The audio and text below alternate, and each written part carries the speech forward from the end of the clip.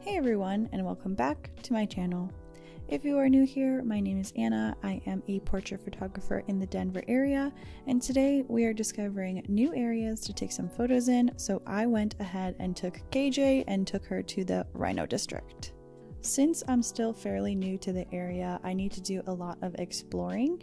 I stumbled on this location while I was going to an event, and KJ is pretty familiar with this area, so I went ahead and brought her because I thought her outfit would match perfectly to this location. The equipment that I'm using today is the Godox AD200 and that is on a heavy duty light stand just because I was worried about wind and it getting knocked over.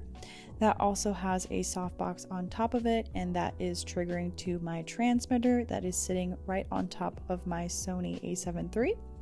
I'm using the 85mm lens to photograph and once we go ahead and get a couple of great shots, it's time to open up Lightroom and begin editing. We're going to be doing some minimal edits here just because I really like the way that it came straight out of camera. But when it comes to the global edits, I would bring up the exposure just because it came out slightly too dark. And I also wanted to bring the temperature to a bluer tone just because I feel like it matches more with a cityscape vibe. Now, you do want to make sure that you are not washing out your model, and KJ has more of a warmer tone. So, what you can do is go into the selective edits and make sure that she matches more of a yellowish than a bluish, just to make sure that she does not look sickly or washed out. And I also really liked the way that the jumpsuit came out. It has this very pink purplish shade to it.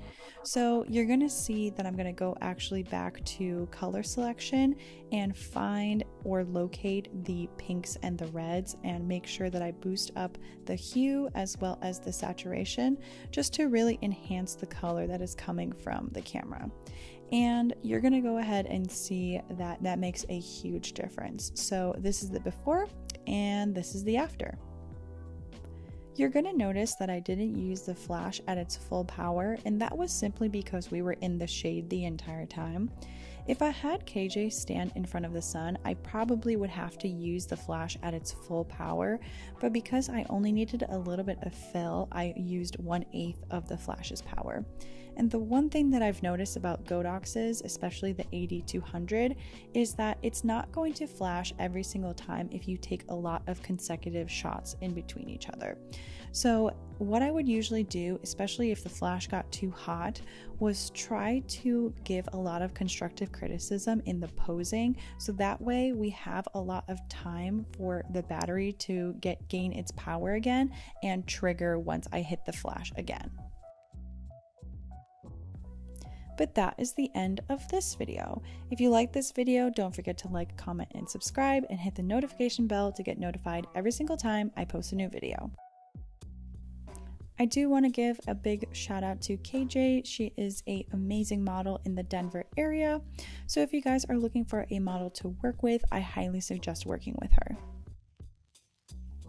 If you're interested in other behind the scenes and Lightroom edits, I have a playlist created that will be listed up here as well as in the description box below. But that is all that I have for you guys. I hope you guys are staying safe, and I will see you guys in the next video.